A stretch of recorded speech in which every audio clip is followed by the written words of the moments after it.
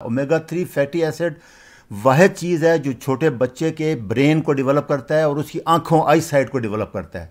इसलिए ये ज़रूर से इसे समझ लें। इसमें जो सबसे इंपॉर्टेंट है डी एच ए है और ई पी ए है। ये सिर्फ़ एनिमल फ़ूड में होता है।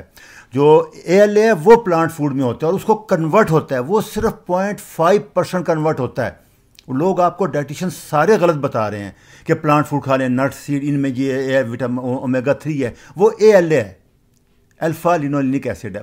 वो प्रीकर्सर फार्म है। वो मैं बता रहा हूँ कि पॉइंट फाइव परसेंट सिर्फ़ डीएचए में कन्वर्ट होता है और तीन से चार परसेंट ई पी में कन्वर्ट होता है। और ब्रेन को mostly DHA sixty seventy percent brain इससे बनता है और आई साइड खासकर। तो इसलिए ये डीएचए और ये एनिमल फ़ूड से मिलता है, हमारी मजबूरी है। इस चीज़ को समझ लें अच्छी तरह ये देखें, ये सिर्फ़ डीएचए कमी की वजह से ये इस बच्चे का आप देखें, आई से पता लग रहा है इसकी कि ये रिटार्डेड ग्रोथ है नॉर्मल नहीं है।